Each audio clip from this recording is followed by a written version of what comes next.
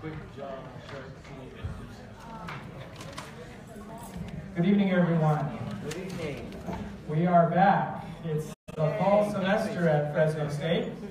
And on behalf of the Armenian Studies program, I'd like to welcome you to our first lecture in our fall lecture series.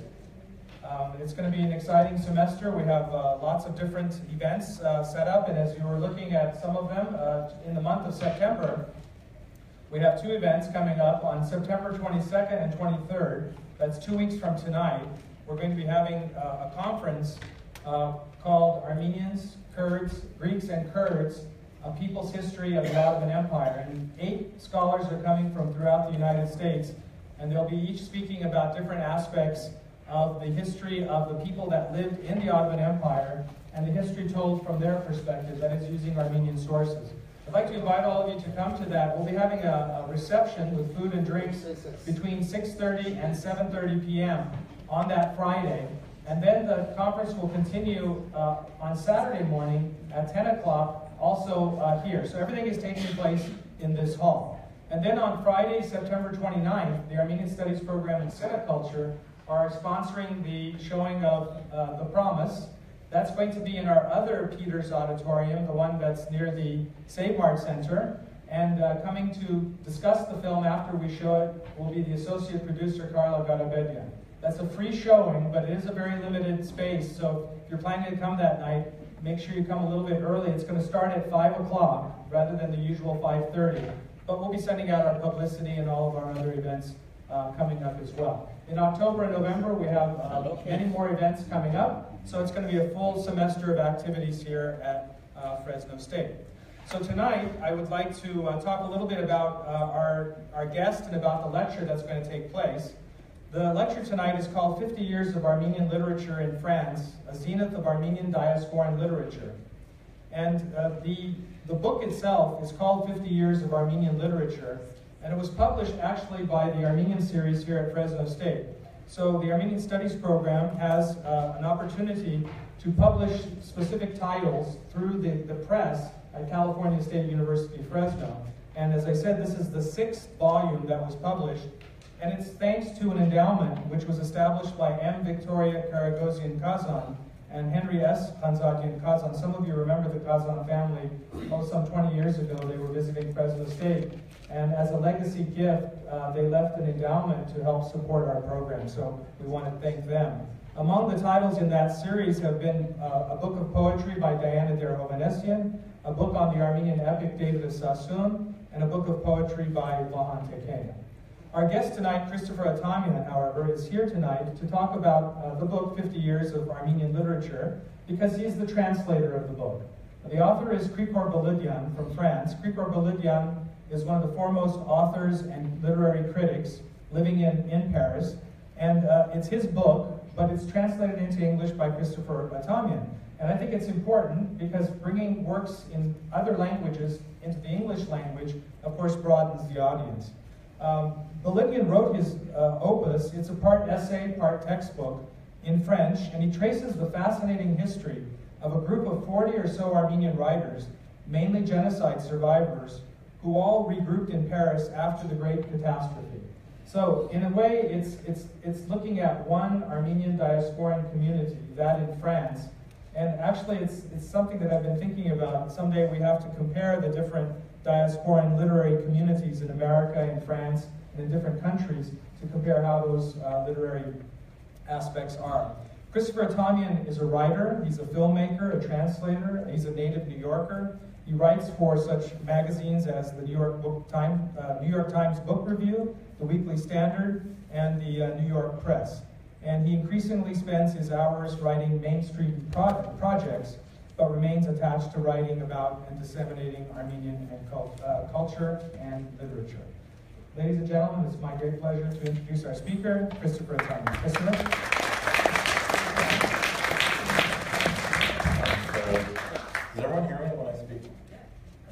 So, um, so first of all, I want to thank Barlow and the Armenian Studies Department at Fresno State for having me here.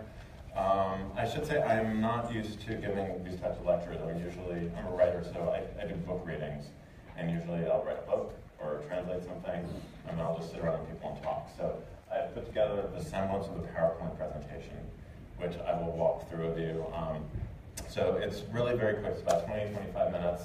Then after that, I'm going to read like one passage or two passages from um, by Nigro Sarafian, who's one of the writers who was part of his generation.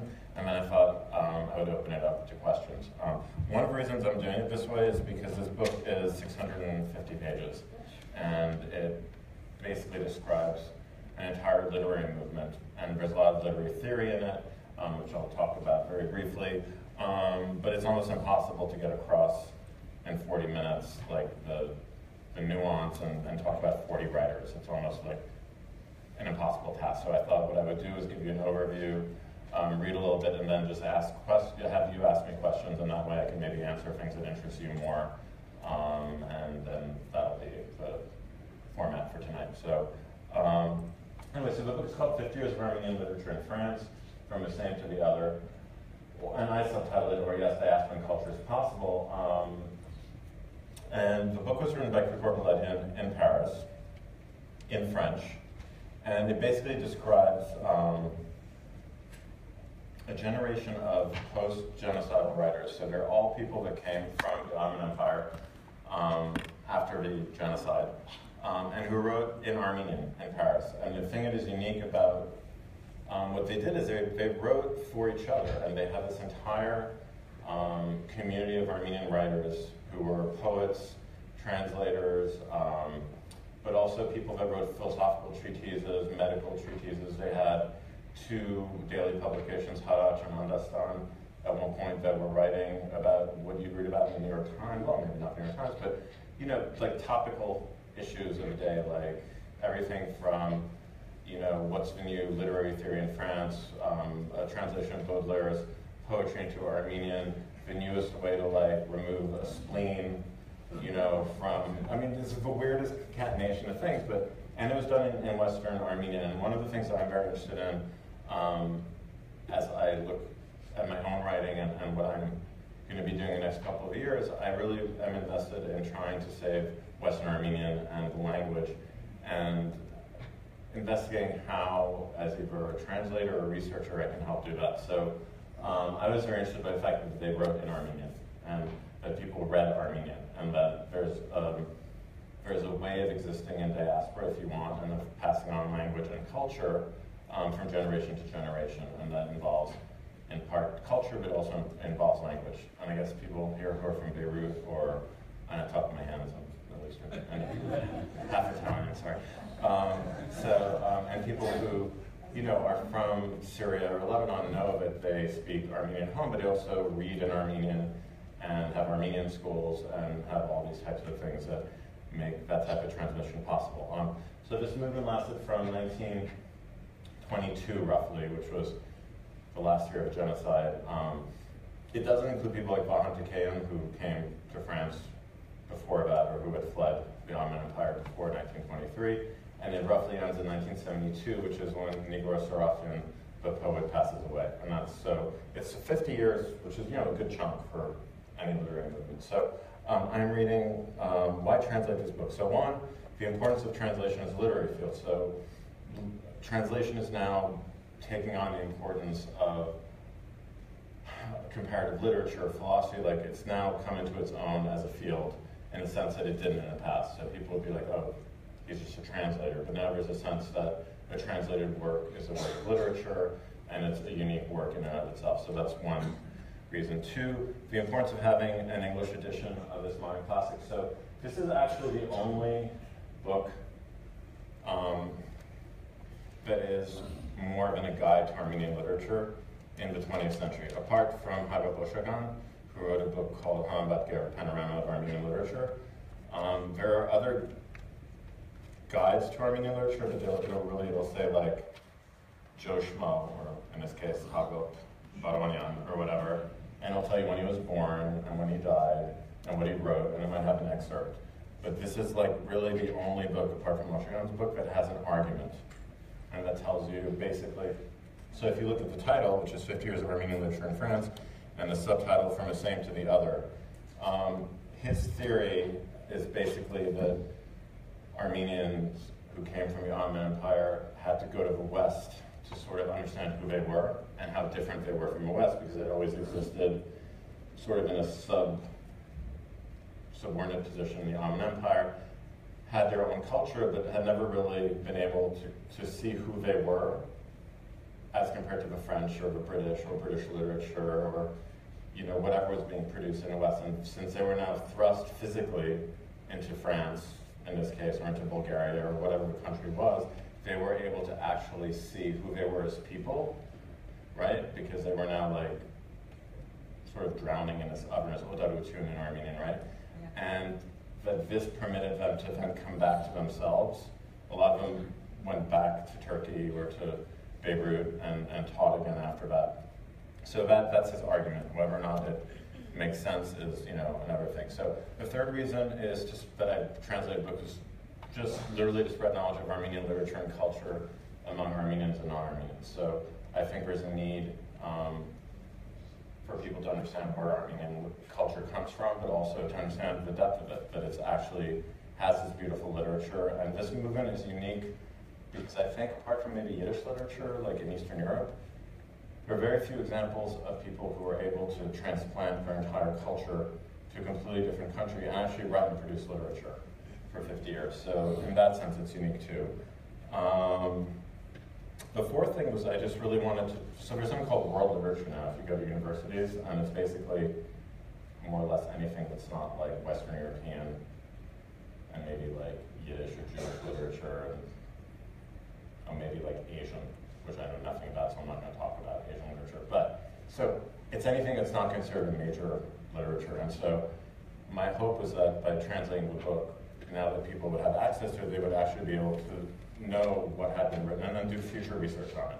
Because you can go in the back and you'll see that there's like 40 authors, there's a listing, pretty extensive listing of like all the works that were produced. So that if you're a research student or a graduate student, you can then just opt for the help it, which is the way a lot of people find their topics, look at something and say, hey, this looks interesting, start researching as an undergrad if you're at Fresno State, and maybe get a PhD after, and you know, start doing really important research that hasn't been done. I mean, there are 42, I counted 42 writers, of which I'd say like 20 are pretty major, and almost nothing's been written on them.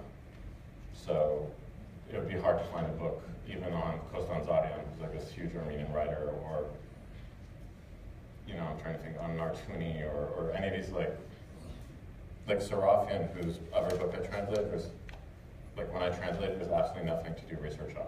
So my hope is that people who are in the audience or people who want to study Armenian studies, whether they're Armenian or not, will pick this up and one day say, hey, these are the themes, this interests me, it doesn't interest me. Um, so that's one of the reasons. Um, six, which I talked about, is to help save Western Armenian and show that it can be literate and has a living language. So Western Armenian was placed on UNESCO's list of endangered languages two or three years ago, which means that there's 350,000 people that speak Armenian today, or fewer and fewer each generation. And so I think that sort of gives you an extra reason to understand the urgency in doing this. So, all right, so my next slide is, so I, I take it there's non-Armenians here as well. So all the writers came from the Ottoman Empire. I couldn't find like a good map of Ottoman Turkey. So basically they all came from Ottoman Turkey. They ended up in Paris. And the loop that he talks about from the same to the other, he talks about this loop that they made because they either went back to Turkey then ended up in, some of them in Beirut, like Sarafian, or their works that are in Syria, or just stayed in France, but the work made its way back somehow. So he talks about this sort of metaphoric loop and a physical loop that they made.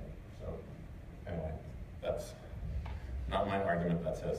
So this is Krikor. Um, he is the author. So I found pictures for you because I think it's nice to have like to know what these people look like because I used to see these old Armenian books with like this old alphabet. Like they actually try to make it impossible for you to read Armenian because they publish it like that big. And I bet I don't know what the guy looks like. I can barely read his writing. So this is Krikor. Um, and he's a poet, a novelist, a literary critic. He was born in Beirut in 1915. He attended uh, Nishant Planchan, which is sort of like the big prep school in Beirut, or the top prep school in any case. Um, and he holds PhDs in philosophy and comparative literature from the University of Paris. Um, so he's quite a clever fellow. He's written over 30 works, mostly in Western Armenian, The main ones are um, anti-poem, which in Armenian is Hekakebat, Mantras, the fire circle around Daniel Inversion, which in Armenian is Shoshum, Flop, which is Dharm in Armenian, and you know a whole list of other books. And he's um, he's just a fascinating guy. So um, you should look up his work and try to read it when you can. Um, so the Menk movement, which means so Menk means we in Armenian, is actually the name of the literary movement itself, and it's called either the Paris School or the movement. Um, again, it, it lasted from 1922 until 1972. And some of the characteristics is that it's a literature of exile. So that implies certain positions, themes, and issues, which is basically that these are people who are trying to figure out who they were, how their culture fit into the West, um, and who had certain themes. So some of the themes were the genocide, foreignness. There's always like a beautiful like French woman who's usually either a prostitute or a virgin who like tempts the like dark Armenian who doesn't know if you should then marry the Armenian girl from the village or if you should like go like French whore. I mean, you know, it's not, it's not, they're not necessarily subtle themes.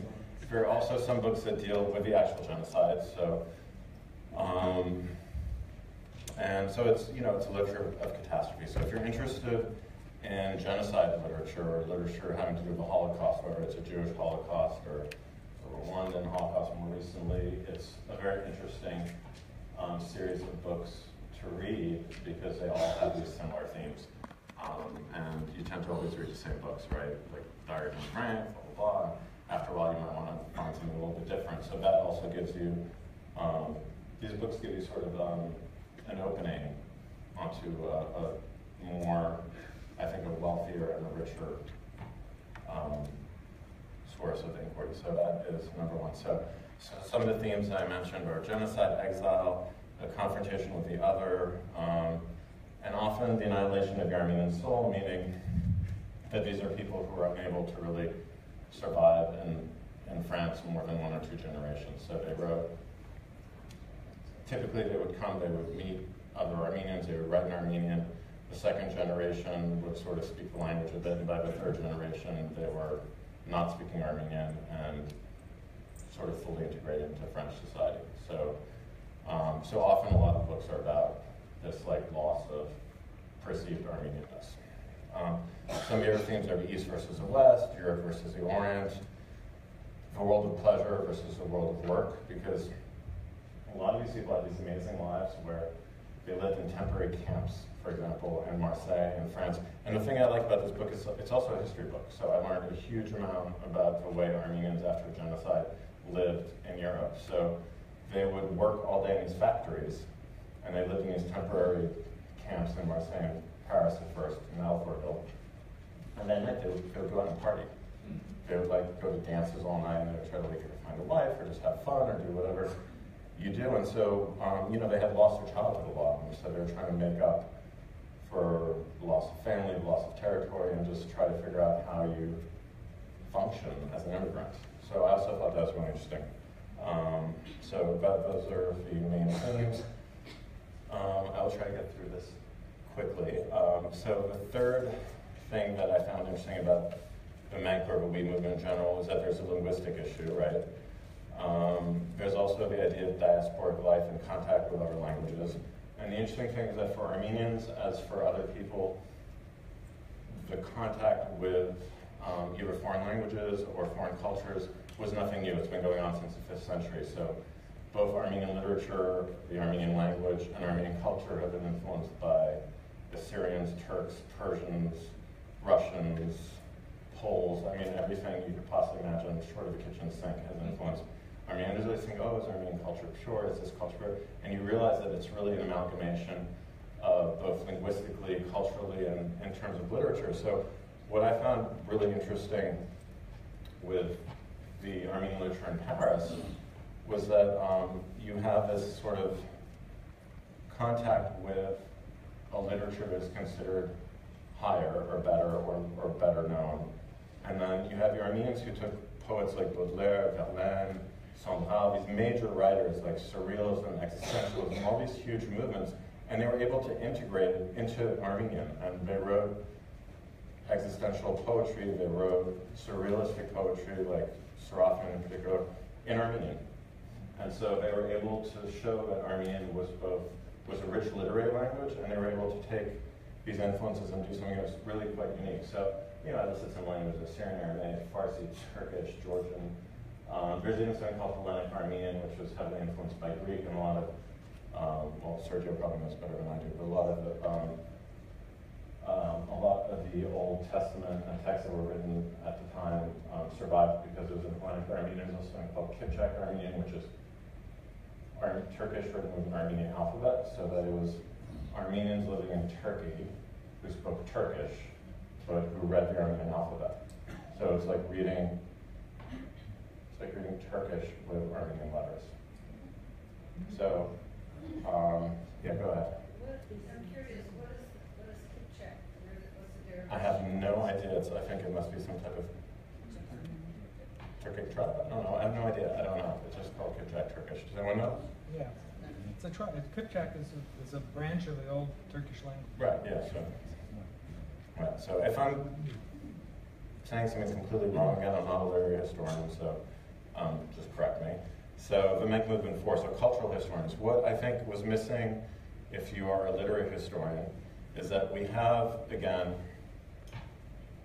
histories of Armenian writers and literature. So Levon Chormasian, Ashot Abrahamian, Arshad Alboyatan, Minas Talilian, who um, recently passed away not long ago, all wrote histories of Armenian literature, but none of them had a central argument to them, right?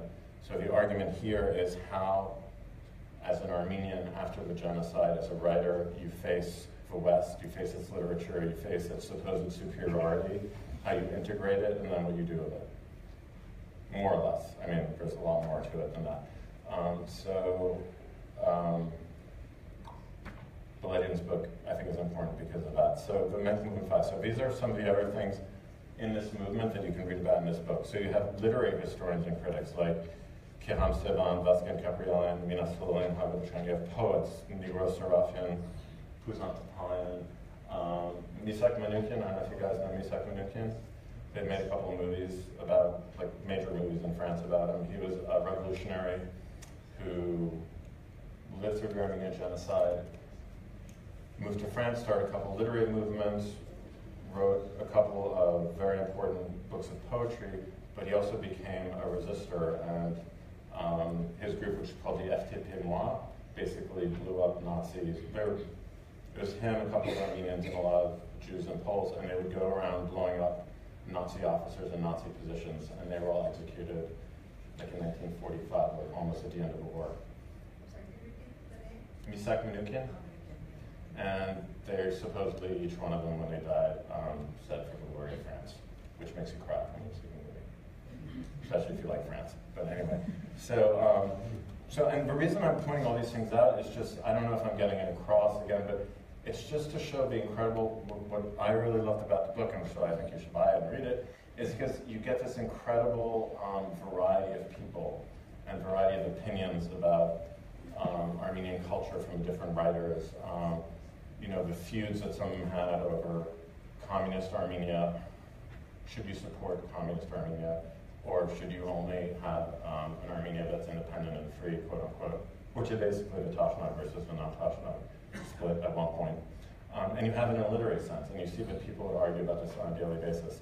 Um, and some people, like Zabel Yesayan, that I'll talk about in a minute, who's a very important feminist in the Ottoman Empire, actually went back to Armenia, and then they were all executed by the Armenian KGB, more or less. So you have this really lovely history, which is sad sometimes, but always fascinating. So you have novelists also like Hagop Oshagan, Kostan Zarian, Shavarsh Nartuni. I don't know if these names mean anything to people. I, I didn't know a lot of these writers. So, um, so this is my favorite. This guy is Nigor Sarafian, and he wrote The Conquest of Space. Um, he wrote 14. He wrote Citadel. He wrote The Bois de Vincennes, which I'm going to read about before I take your questions. And he wrote a book called um, Mediterranean. And he was very important because for this entire generation in Beirut in the 70s of young students who were studying at Alamjan Haigazian University, which is an Armenian university in Beirut, they read Sarafian in Armenian, and he was modern.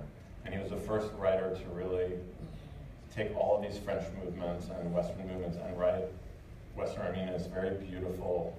I mean, if I could read your Armenian to I would, but I don't have it here. Um, it's just stunning uh, poetry and prose poetry. And it basically, some people argue, like Marc Nichanian, who's a critic, that he, in and of himself, almost saved or created an entire new generation of writers and people who were interested in Armenian literature in Beirut amongst the young intelligentsia. It's a little bit of an exaggeration. I mean, not, it wasn't just him. But, you know, that's why I think it's important to, like when you're translating, you think, oh, wait, how am I doing this? Because even if it's one or two people who then get interested and then are able to carry something on, you never know where that's going to lead. So I don't think he ever thought that he would be that important to Beirut Armenian intellectuals, but he was. So um, Hagop Oshagan was also part of this movement. He wrote The Humble Ones, Remnants, which is Menatsortats, which is one of the most important books of Armenian literature, which is about the prison system in the Ottoman Empire that the Armenians suffered under, and then the genocide and what was left. So um, he also wrote um, Hamabatge Hagagan Kuragan which is Panorama of Armenian Literature, which is this enormous opus, which is 3,000 pages on Armenian literature of the 20th century. And he, I would argue, with, um, with Beledian, have basically saved the history of Western Armenian literature. Because the thing that you need to understand also about Armenian literature and culture was that for seven years, because of the Soviet Union it was basically cut off in two, and the Soviets basically would not let, they would either adulterate and change the, the little bit of Western Armenian literature they let in, or they basically censored it completely. So that if there hadn't been these works, there is nowhere else you could, I mean, where you can go find out about Armenian writers from the Ottoman Empire. Like it's almost, you know, there's no research done. So, um, so Oshagan and now I think, really, in these two books, have done this huge favor to the world and to Armenian literature. So he is an amazing guy. Remnants came out a couple of years ago in English. Nora Kabranian translated. Oh, sorry, that wasn't up. So those are the three books. Remnants came out on, I think it's Yale University Press, so you can actually buy it in English. Panorama, if you ever want to read 3,000 pages of literature in Armenian, is out in Antelias in Beirut. So Shavarsh Nartuni is another one of the writers. These aren't the greatest pictures, I'm sorry.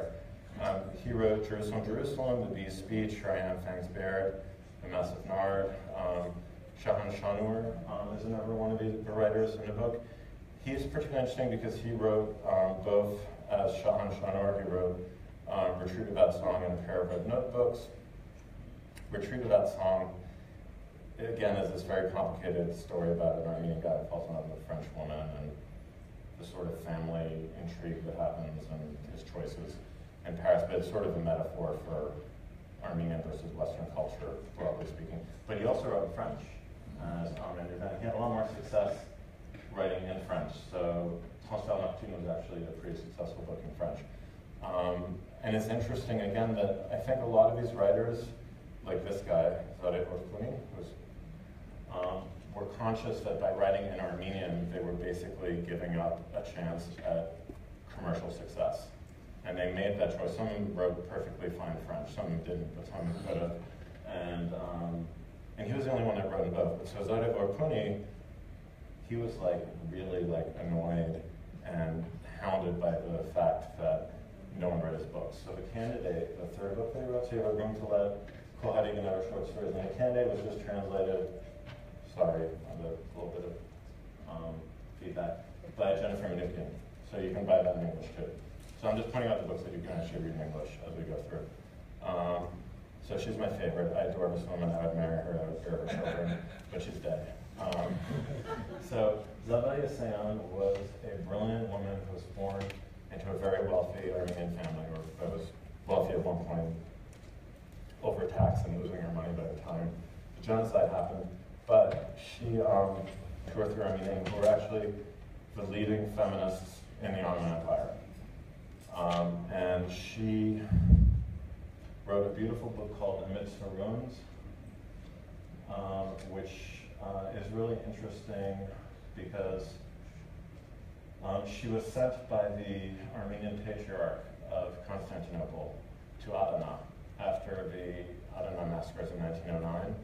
So in 1909, the Turkish government basically um, incited riots in the Christian quarter that were interpreted by the Turkish part of Adana as being an attack on the Muslim quarters, and they retaliated by massacring 35,000 Armenians. And she was sent to report on what she found and just to document it. And the interesting thing is it starts off and she writes to my fellow Ottoman citizens, and she's writing to both Turks and Armenians, because at the time she considered, Armenians considered themselves to be Ottoman citizens and didn't necessarily differentiate. I mean, they knew that they weren't Ottoman, that they weren't Muslim, they knew they weren't Turkish, but there was a sense of unity to it. And it's an absolutely harrowing book. Like, you really have to be able to read through pages and pages of children who've been mutilated and, you know, entire, like, churches of Armenians burned to the ground. But it's, it's an eyewitness story to the 1909 massacres, and it was a warning to her own people, but she never really thought that the genocide would take place. She thought it was an aberration. So it's an interesting book to read. Um, she wrote The Gardens of Silihdar, which is completely different. The Gardens of Silihdar is a stunning, very beautiful description of the neighborhood in Istanbul, in Constantinople, called Silihdar. And it's just a very beautiful description of Muslim, Christian, Greek Moors, the gardens, the traditions, the weddings, um, and that's available in French and in English as well now. So um, the interesting thing about Yesayan is that she then spent eight years in Tiflis transcribing what happened during the genocide, moved to Paris where she lived with these other writers who are describing in here, and then she moved back to Yerevan, taught at the university, and she was rounded up with like two other, three other great Armenian writers and basically disappeared and was murdered by Armenians, by the KGB, by the Armenian KGB. So um, we don't know where she is. And there's a new documentary, you can look up on, you can Google documentaries of Elia Sound, which was done by um, two uh, Istanbul Armenian and an Armenian American. And it's really interesting because there's actually a street in Yerevan called Zabel Yesayan Palazzo, which is Zabel Yesayan Street. And they go around asking people to live on the street. They, they say, all this Zabel Yesayan, who's Zabel Yesayan? No one knows, right? So, to me, like when I was translating this book, I thought, you know, this is the, the you know, the sort of level we've gone to where people who even live on a street in Armenia named after Zabel Yesayan don't know who she was.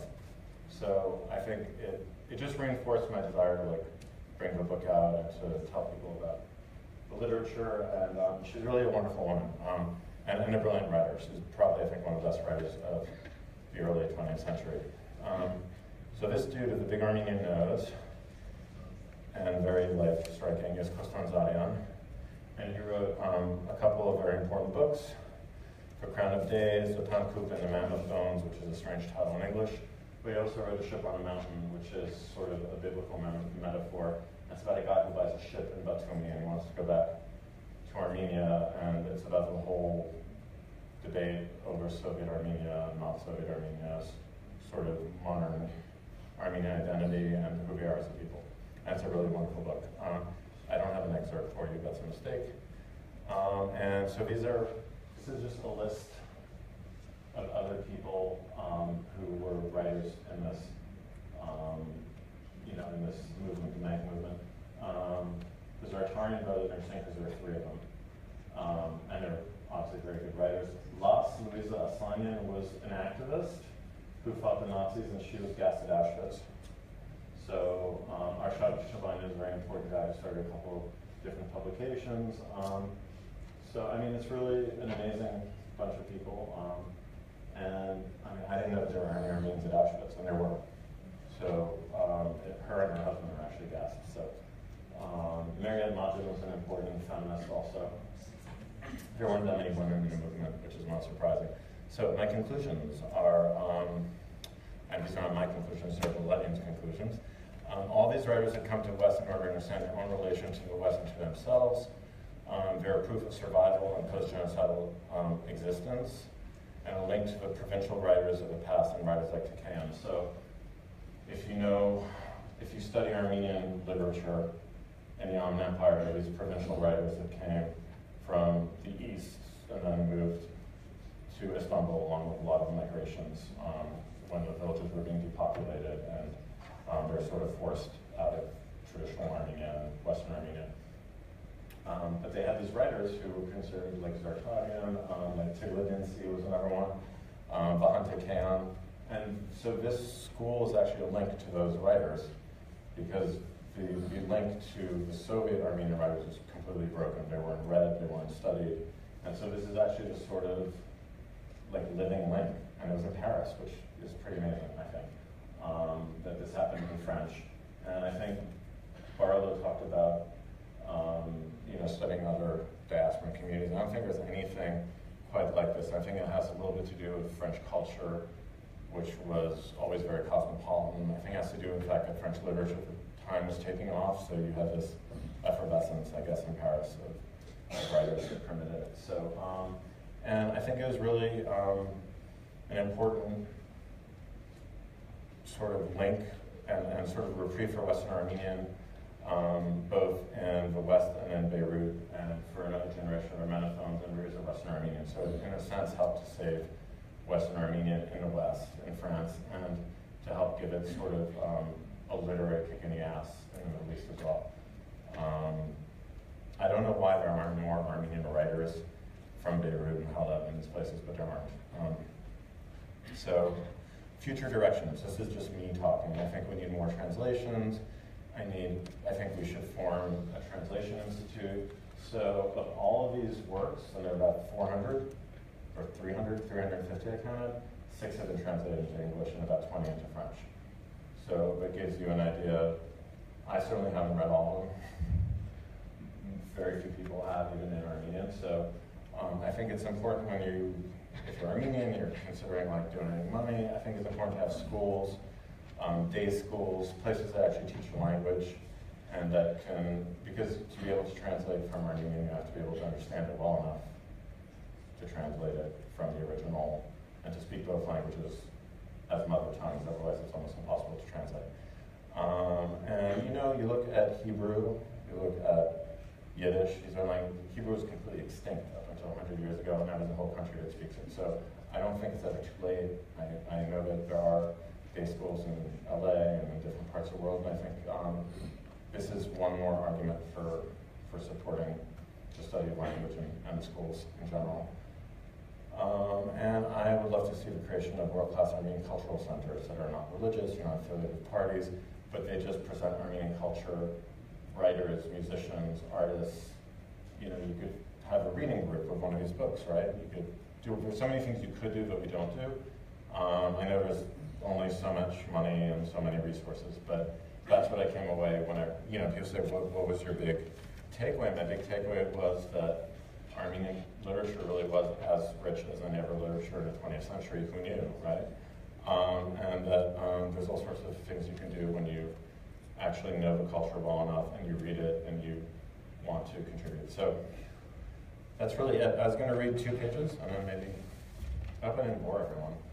Um, okay, so, um, so Nicolas Sarafian was um, one of the leaders of this movement, and he wrote a lot of different books, so poetry, prose poetry, philosophy. There is a manifesto by there. There's something called the Manifesto, but it's very garbled. It's, it doesn't really have a point. It's more like 10 things you should do, or 10 things that for Armenian literature might be, but it's not like the Surrealist Manifesto, which is you know, really rich and interesting, so I'm not going to read you the whole thing. But, um, so this is him, kind of handsome guy. Um, and the Bois de Vincennes is like um, the big park, one of the big parks in Paris, although like Central Park in Milan. Um, and he writes about the history of Armenian culture and the history of World War II and the history of France as he goes to work and comes back every day and it's actually really quite beautiful in Armenian, but I'm going to read you two pages in English, if you can bear with me. Um, so, um, all right, so this is chapter two. The Bois de Vincennes is enticing. The trees are witches at times. Uh, uh, and by the way, it's, this is in this book, but only half of it's in here, so I want to read you the whole thing. To, I'm reading from here and not from the actual book. So, okay. Um, the bois de Vincennes is enticing. The trees are witches at times, magicians wearing cruel wooden masks. Demons who whistle on cold winter nights, gypsies who foretell the future. A spirit emerges from within a leaf, and the woods become chaotic under the sun. The entire length of the forest vibrates with metallic sounds that echo off one another. A landslide rumbles, and then a magnetic current passes by. The ground trembles like a Negro in a trance. One of the spirits throws down a gold coin. A horse chestnut rolls onto a path, bounces back up, and then explodes, letting loose from its resplendent green skein a shiny fruit that looks up at the world askew like some grazed wild colt. The dead leaves lift themselves up and flee like the undulation of a long wedding train. An invisible spirit suffers at the bottom of the waxen riverbed as the sun's rays embed themselves like many witches' needles.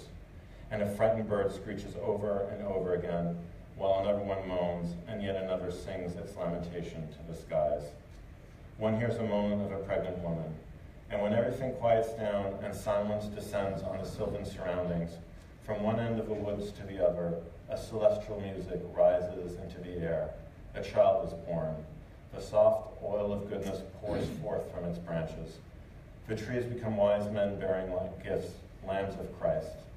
The Bois de Vincennes is beguiling. Buried under a winter cloak of snow, the trees are angels who beat their white wings in the sky. The angels whisper of a lost heaven, and at night they become ivory shrouds, somnambulists sleepwalking through the moonlight.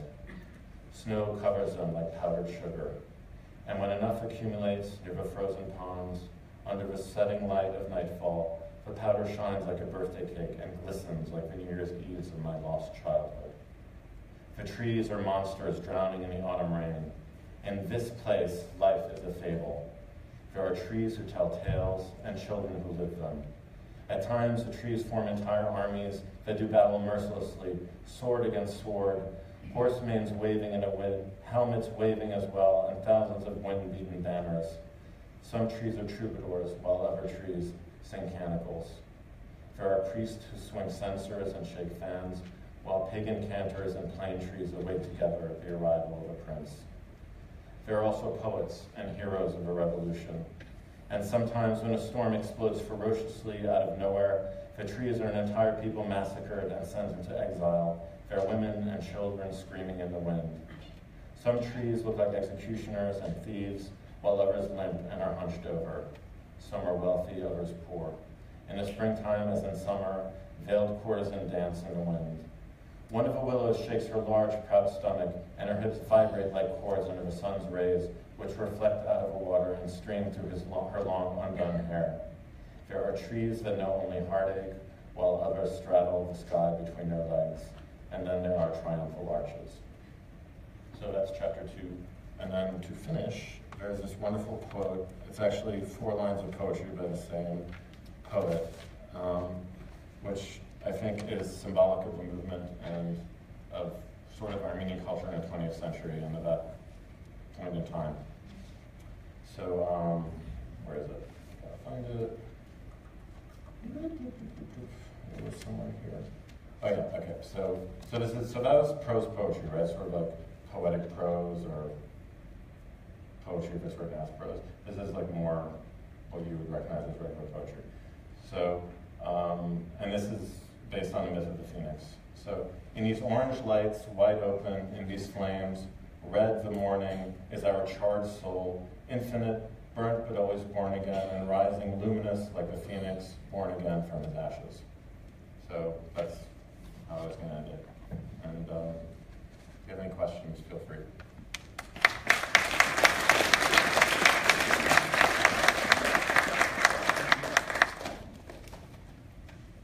Was uh, it hard with the French, or are you fluent in French? Uh, yeah, well, I, I learned French and English at the same time when I was a kid. So my, my mom is um, my mom is Swiss and my father is Armenian, but from Beirut.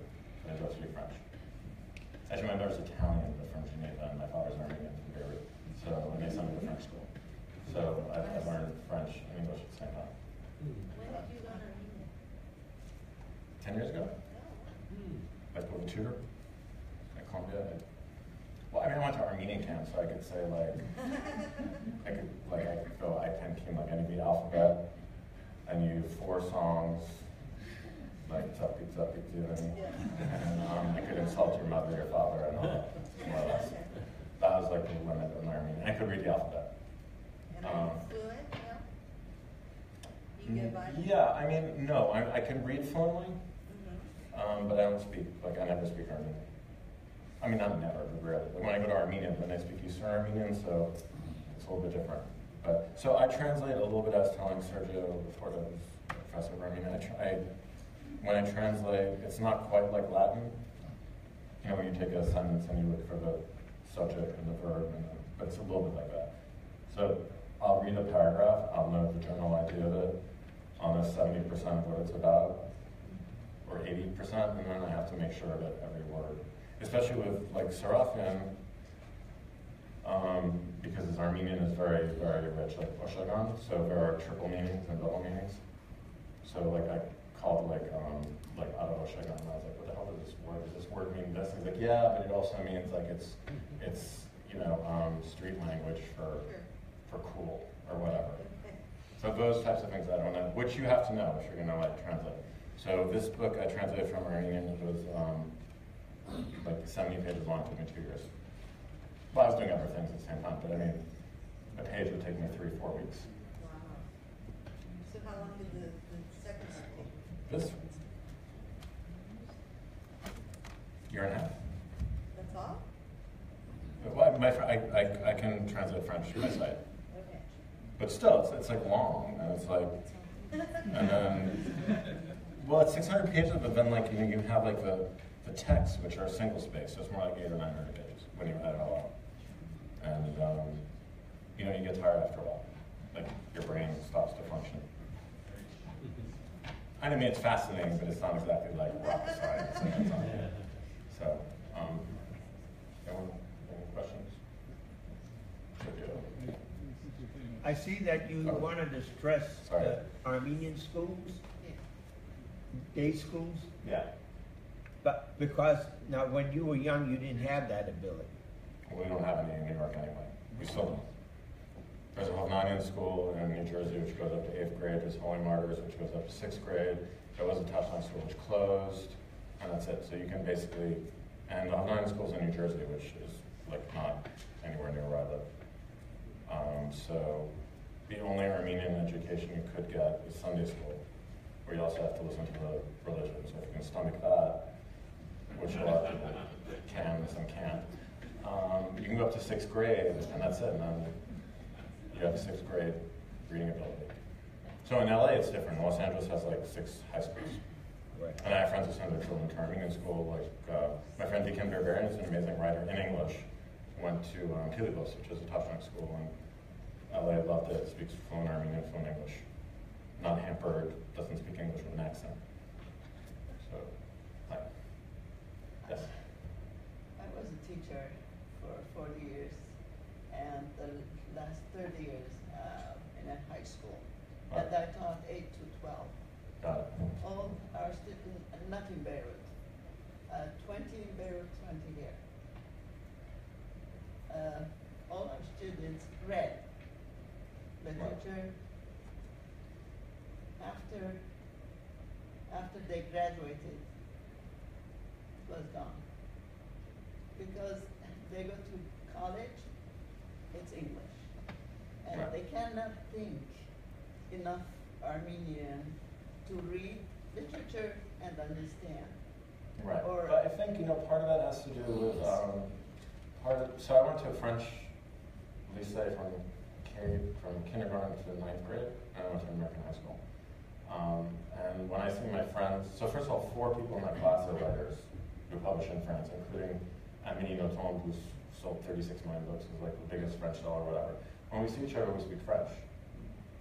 None of us are, well, some of us are, some of them are French, some are Belgian, most of us are American.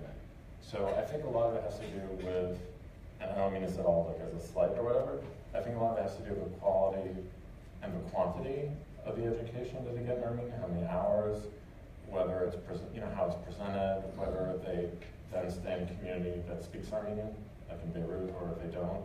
And I think it's hard if you've never then talk a language, whether it's, you know, I don't know, whether it's German, Swahili, French, Quechua, whatever it is, you need to practice it. So I think there also have to be, there has to be a conscious effort to somehow form communities that, that pass it along. You in school in New York? Huh? Were you, you say in New York? Yeah, yeah, I was. um, Just out of curiosity, if you're gonna form a translation institute and a PhD in Armenian English translation, what would that look like? I mean, I mean, if you're gonna translate, I mean, I'm curious, as you were speaking, What? if someone was to translate, um, say, every Armenian poem into English that was ever written, what kind of collaboration would that have to be in order to appropriately translate from Armenian to English? Well, I don't think they'd ever be able to translate it all. So I have a friend who teaches um, Esther Allen, who is uh, she's American. She's actually she went to a Claremont College here, and I'm where she got her PhD. Um, but she was brought up as a Seventh Day Adventist, like as you get. And she teaches at Baruch, which is like a city university, so it's a city college as New York is Baruch. And she gives out PhDs in translation now, in Spanish translation, which is her specialty. But if you want to go get a PhD in, uh, say, in a different language, she will try to accommodate that if you can find someone who will guide you. Like if you go, like, you say, oh, Barlow will be my supervisor, she will try to figure out a way make that happen and give you your PhD in translation, and then it'll say the language, which in this case is Armenian. So there's the theory of translation and how you translate, and then there's the language itself, which I guess you have to show proficiency in. So um, I think it's, it's a question of funding. A translation institute is a little bit grandiose, but just a place at a funded university where if what you want to do is study Armenian culture but be a translator, you are able to study how to translate. In other words, literal translation versus non-literal translations, theory of translation, study great translations from Spanish or from Italian into English to see how people translate the same text, maybe look at Baudelaire in four different translations, and then um, do your own, start doing your own translations from Armenian into English. Um, and um, you know, there, there's four of us who are translating now. I've translated two books. Jennifer Manoukian was wonderful. Has translated, I think, three books now. Um, Nanor Kandarian translated, or changed her name. But she translated Oshagan, which is no mean feat. I mean, very difficult. So there's three or four people who are just translating for the heck of it, more or less. So if you could actually, you also need money to translate. Like so, like you have to go through these convolutions of applying for grants, where people are like Armenia isn't that like next to Italy, and you're like no, that's Albania. You know, so you then go to the Armenian like institutes, and they're actually not bad about it. Like I got, I translated this book through the Surin Festian Fund, which is a fund set up at Columbia just for translation. If that didn't exist, I could not translate it because they gave me like twenty-nine thousand dollars to translate the book, which is a decent amount. At least you can eat while you do it. Um, and the AGBU gave me a little bit of money to translate another book. So these things help, you know. And if there were just more of it, I think you would actually see like sort of a little explosion of translations. Sergio. Okay, so one is, is I mentioned that because we're hoping to host a seminar can't hear you. basic translation course with the classical Armenian. That's from Prabhupada. uses translation theory, though, it's not just about Right, saying that, yeah. it's gonna be using translation theory to, uh, to, to use. you know. Right. Well, also, you know, the thing is, the thing that's interesting is, um, so when I was growing up, I would pick up. So my father was Armenian, and he was like a little bit nuts about Armenian culture. So he didn't teach me Armenian, but he would talk about it all the time. I was like, this man's insane. Like, I don't even know where Armenia is. I've never heard of an Armenian writer. Oh, Oshagan's the greatest writer in the world. You're like, okay, well, I can't read it. So you have to take him on his word, right? And there's this guy, Misha Kudian, who used to translate every Armenian book. That was translated by Misha Kudian, who must have been from Beirut or Halab. Very smart man. His English sort of sucks. And so you would read these books, and they were just, I'm sorry if anyone's related to him in the audience, but they were just not well translated. So the impression you got when you read them was, gee, Armenian literature is not, it's not very interesting, or it's not, they don't, they don't write well. I mean, when you're a kid, that's your reaction, right? It's a silly reaction. And so I think now at least we have like professional translations, like people who have PhDs or who are studying, or in my case I studied Complet as an undergrad, so I've already translated from other languages, so I know how to approach it, which is sort of like the second stage. And I think if we get to the point where we have more of what Sergio's talking about, for like Western Armenian, well, for modern Armenian as opposed to classical Armenian, um, then I think you reach, in my mind, sort of the goal, which is to have at least a constant flow of things being well translated.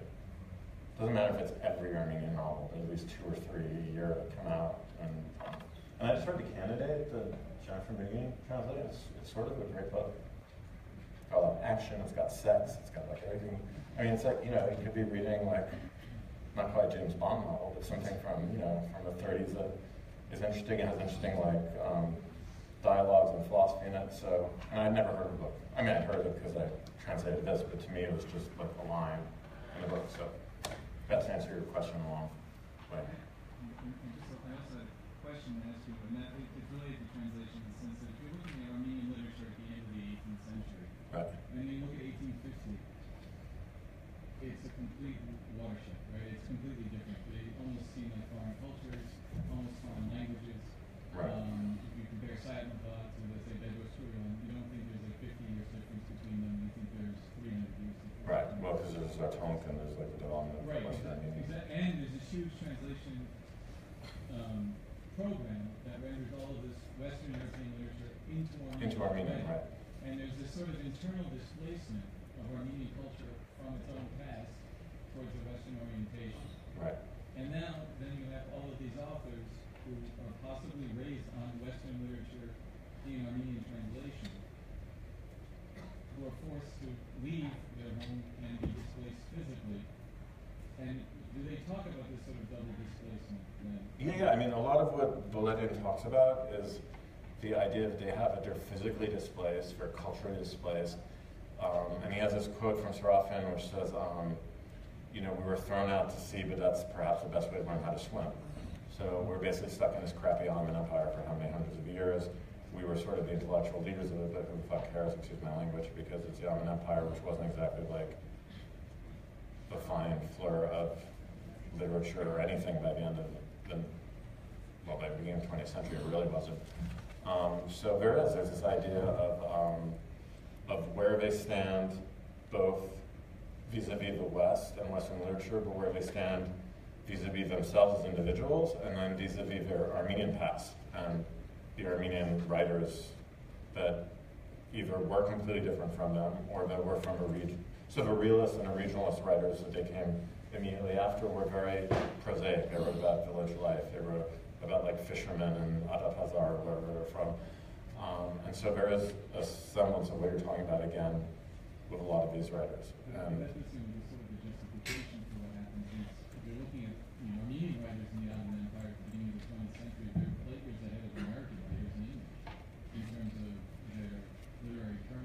Yeah, I mean, you know, if you read like Puzant Topalian or Nigor Sarafian, the, the, the language is very, it's, um, it's experimental, it plays with rhymes, it's got weird surrealistic imagery, like it's got types of things that, I don't know if it ever hit American. I mean, American literature is a weird thing unto itself, right? I mean, because you go from 19th century realist literature to like the beats and I don't know what's in between, Harper Lee. Um, but, um, I don't mean that in a negative way, I like Harper Lee. I think in the sixties and seventies, uh, Jack Antreassian on the East Coast, through AGBU and the diocese, he had a bunch of uh, authors translated. Yeah, I mean, he was the other one. It was Jack Antreassian and Misha Kudian. But I don't know how I don't know how good a lot of it was, to tell you the truth, and a lot of it's out of print too. So I'm coming out with. Uh, well, actually, Barlow, can I talk about the Keljik book? Hmm, You can talk about it. So we may, I think we're coming out with this other book that Aris Sevag translated by Bedros Keljik called um, America Habat Gediaga, so Armenian American short stories. And these were written by Bedros Keljik, whose um, cousin is also an Armenian provincial writer, but he moved to Minnesota, and before that lived in Chicago and New York, and he wrote these amazing, they're like these, they're so well written and sort of interesting and at the same time misogynistic and racist. you know, he's like, oh, the guy sells carpet, he's got a big nose, he looks like a Jew. I mean, it's like these ridiculous, you're like, oh my God, I can't believe he wrote. But they're, they're very precise portraits of where American culture was in sort of urban centers at, in the 1920s and 1930s, and views of religion, views of like women, which are also get the Irish all drunk. I mean, it's like every awful stereotype, but it's a really important document of American literature and Armenian literature. Um, and these are, you know, these were translated for the first time by Iris maybe 10 or 15 years ago. So you have all these really interesting um, things that still have, that still can be, and these, to answer your question, had been translated first by someone else at one point, but very badly, to the point that they were unreadable. And Iris's translations are quite good. So it's not just a question of what was translated, but was it well translated? Is it, is it, does it have an introduction that explains in a much more intelligent way what I just said about stereotypes and, and the Amelia Lowe's in a Bowery in New York, in the old Bowery, which is actually Skid Row, sort of. And like the first Armenian like carpet shops that were set up, and like Armenian Protestant preachers that came, and like swindlers, like the preachers who were good preachers, the preachers who were bad preachers. I mean, so it's this whole, um, and actually it's interesting because I was told that he also wrote about Boston, and that a cultural historian from Harvard that doing a history of one of the squares, like Quincy Market now in Boston, which used to be called something else, used one of the short stories because it actually describes which stores were next to each other. So, you know, you contribute to urban history, because he couldn't find it for whatever reason in the Boston Library. You have a short story that's in the Boston, where, so he used that I was told. So, I mean, there's all these sort of interesting, I mean, you know, if you're in Silicon Valley and you want to make $8 billion in the computer industry, it might not interest you. But if you're interested in cultural history and these types of things, it's actually kind of fascinating. So, um, so that was a very long answer to say that yes, there has been stuff I've translated, but I swear it's not more than 12 or 14 books. And a lot of them are like folk tales, Armenian folk tales. Like there are all these books, which are fine, but it's not necessarily the whole story or like the Book of Lamentations or prayers or whatever. So, um, is there anything else anyone wants to ask, or can I be merciful and also? Uh, thank you.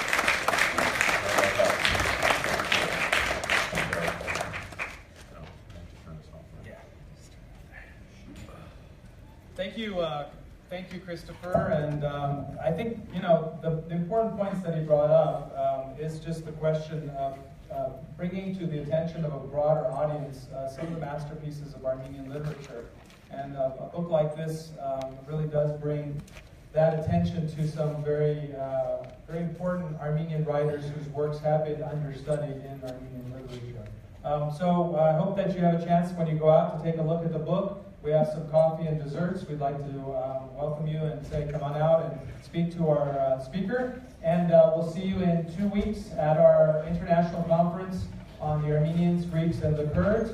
And then um, a week after that, we'll see you at the conference. Thank you, and uh, we'll see you then. Thank you.